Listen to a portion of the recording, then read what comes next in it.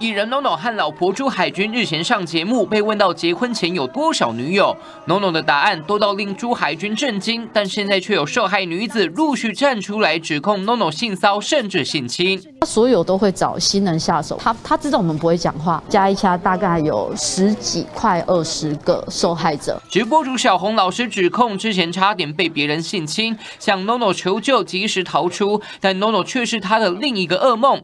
曾被 NONO 载到一个很暗的公园，下车后将他抱住，强行让他坐腿上，直到他借口离开才结束自己的行径。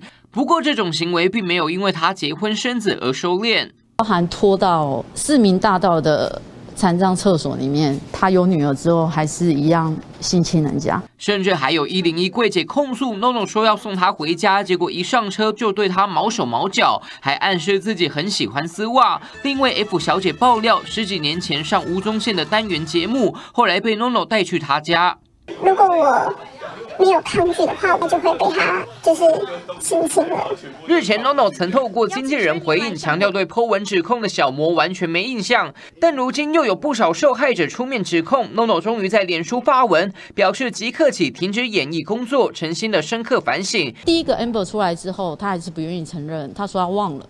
第二个我出来之后，他还是不愿意承认，他说他忘了。结果陆陆续收到非常非常多的讯息私讯来。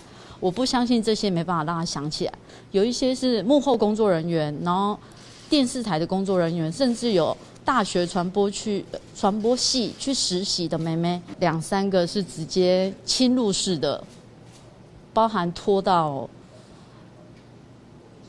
市民大道的残障厕所里面，然后就直接。自从 Me Too 事件的延烧之后，所有的。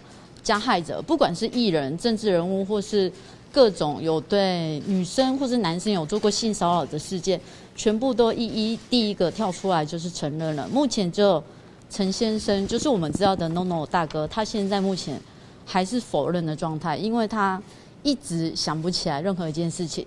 那自从我 Po 文之后，就开始收到超级超级多的。受害者所有人的来信，那包含是有一些是幕后工作人员，然后电视台的工作人员，甚至有大学传播去传播系去实习的妹妹，她那时候才可能是六十七十八岁，我不晓得，就是大学的时候，所以我收到超级超级多的受害者的爆料，然后还有收到了两三个是直接侵入式的。包含拖到市民大道的残障厕所里面，然后就直接，然后所以对很多的受害者心理影响是非常大。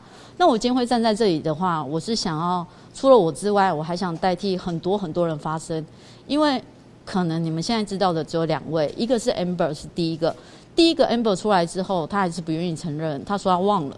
第二个我出来之后，他还是不愿意承认，他说他忘了。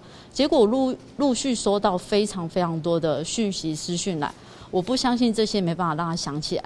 那我先呃讲我今天的一些重相信来给大家，就是第一个关于我在 Facebook 发表的亲身经历，全部都是属实，就是我个人发生过的。然后第二个关于很多人问说，职棒球员的经纪人。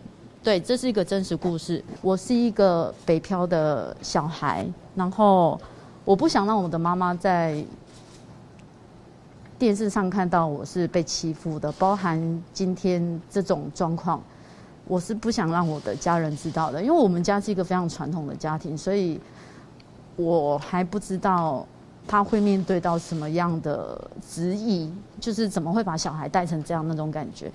然后，所以。